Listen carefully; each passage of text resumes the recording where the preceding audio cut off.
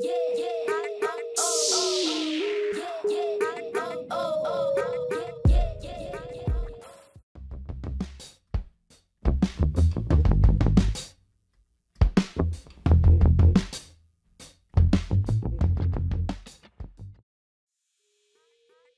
Poland has awarded a framework contract with South Korean defense firm Hanwha Defense to buy 288 K-239 Chunmoo multiple rocket launchers. Hanwha said in a release that contract was signed by Son Jae-il, president and CEO of Hanwha Defense, and Polish Deputy Prime Minister M. Blaszczak in Warsaw.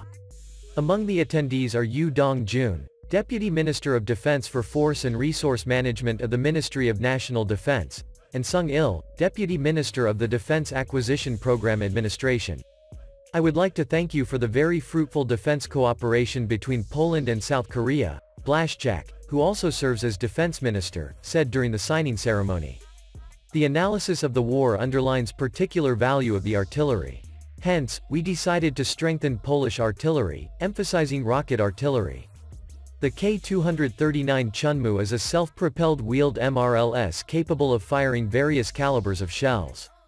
The launcher vehicle carries two missile containers, each of which can contain up to six 239mm guided missiles with a range of approximately 80 km or one ballistic missile with a range of approximately 290 km.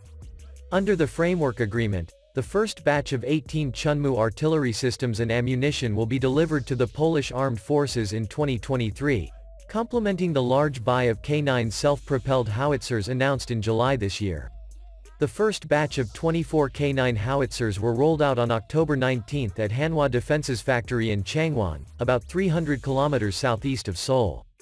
The Polish version of Chunmoo MRLS, in particular, will be integrated with Polish subsystems such as JELCZ trucks manufactured by the Polish Armaments Group, and Topaz automated fire control systems built by WB Electronics.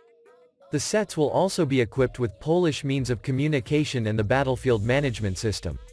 It is planned to award contracts to Polish industrial entities for the supply of command vehicles, technical support vehicles, ammunition, and technical evaluation vehicles.